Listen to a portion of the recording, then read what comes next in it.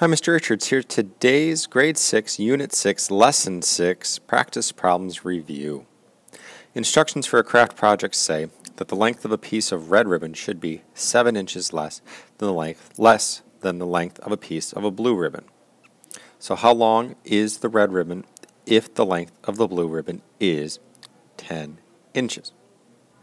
Well, the red ribbon needs to be 7 inches less than the blue. So if the blue is 10, 10 minus the 7 inches less is going to equal 3 inches. If the blue ribbon is 27 inches, 27 minus 7 is going to get us the 3 inches. And if the blue ribbon is x inches, x minus 7 is going to be, well, x minus 7 inches for the red ribbon. Now in B, how long is the blue ribbon if the red ribbon is 12 inches?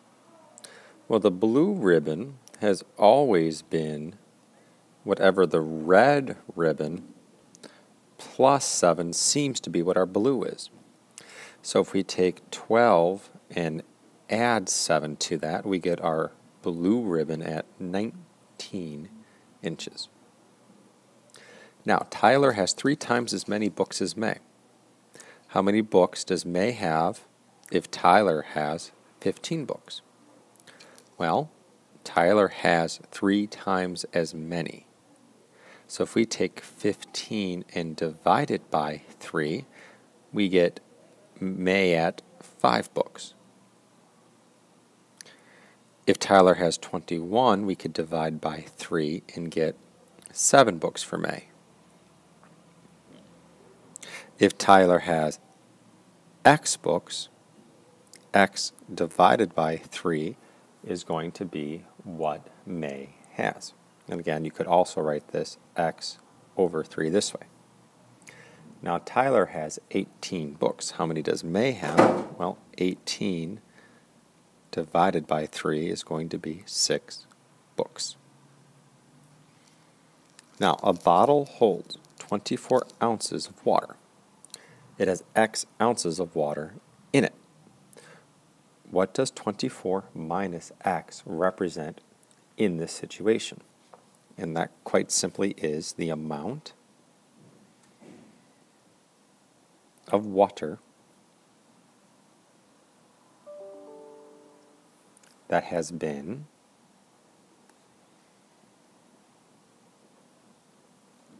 removed from the bottle. Now, to write a question, how about how many ounces of water did Jada drink from the full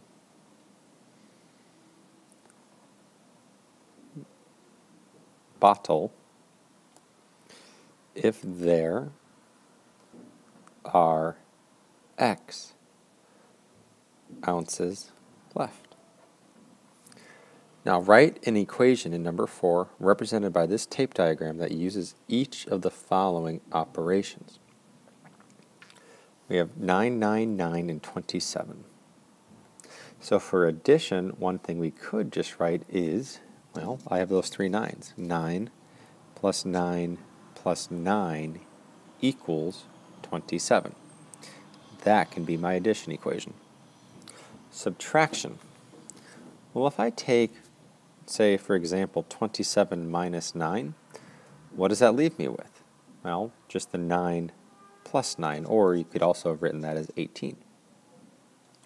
For multiplication, we have 9 times 3, and that equals 27. And for division, well, we have 27 broken into three groups of 9, so we could do 27 divided by 3 equals 9.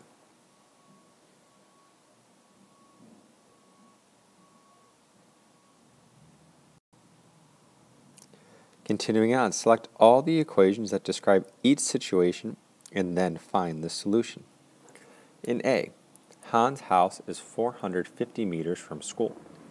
Lynn's house is 135 meters closer to school. How far is Lynn's house from school? Our solutions here are going to be z equals 450 minus 135 and z plus 135 equals 450. And let's explain why those are. If Hans' house is 450 meters from the school, and Lynn's house is 135 meters closer to school, how far is Lynn's house from the school? If we were to take the 450 minus the 135, we'll get that distance of z. Additionally, if we take that distance z and add the 135 meters that Lynn's house is closer, we would get to Hans' house at 450 feet. Now, to solve, I simply subtract 135 from both sides here, or just complete this, right? Either way, we get z equals 315. Tyler's playlist has 36 songs. Noah's playlist has one quarter or one fourth as many songs as Tyler's playlist. How many songs are on Noah's playlist? We're looking at taking the 36 and dividing by 4. We can also look at 4w equals 36. And if we take 36 divided by 4, we simply get w equals 9. And that's how we'd be solving this side. We'd be dividing by 4 on both sides to get w equals 9. So 9 songs on Noah's playlist. You multiply that by 4 and you get to Tyler's playlist of 36. You had $50. You spent 10% of the money on clothes, 20% on games, and the rest on books. How much money was spent on books?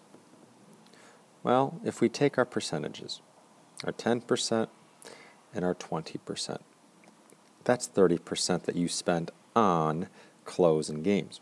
The rest, total of 100, minus 30% spent, is 70%.